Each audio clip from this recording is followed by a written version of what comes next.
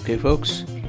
Uh, this is a Drupal site I'm developing and uh, in this video we'll see how to redirect a user once he or she logs into a Drupal website.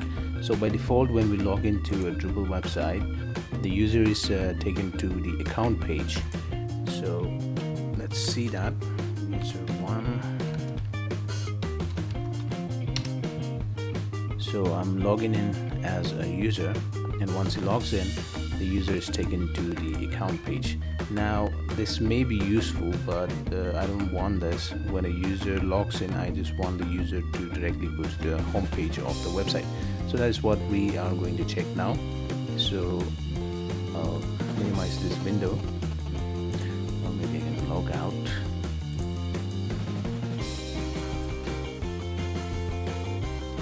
And I'm going to the admin page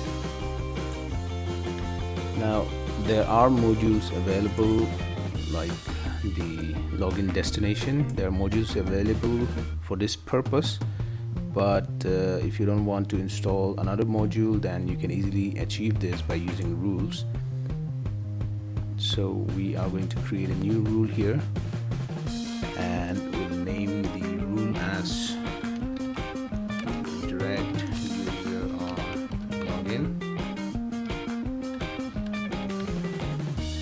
now the event that we'll select here is uh, user login. User has logged in. Save. Uh, we don't need to provide any conditions here but if you want to uh, redirect the user only to uh, you you want to redirect the user to any particular role or any particular user then probably you can also define some conditions here uh, but right now I don't want that. I want all users to go to the home page after the login so I don't need to provide any conditions there. I'll just add an action.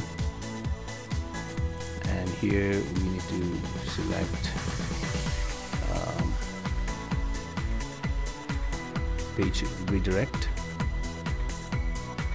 So we need to provide a path here. So I can just take some replacements?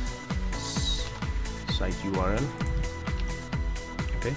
So when a user logs in he will be taken to the site URL which is the home page so that is okay. Force redirect through. Then destination parameter I don't need to select anything here. Just save so now the rule is saved. We'll go back to the user side login and user one. Login. And the user should be taken to the home page. So we are at the home page instead of the user uh, account page. So uh, like I said there are modules available for this purpose but if you don't want to install modules then you can easily achieve this uh, using rules so that's it for now. Thank you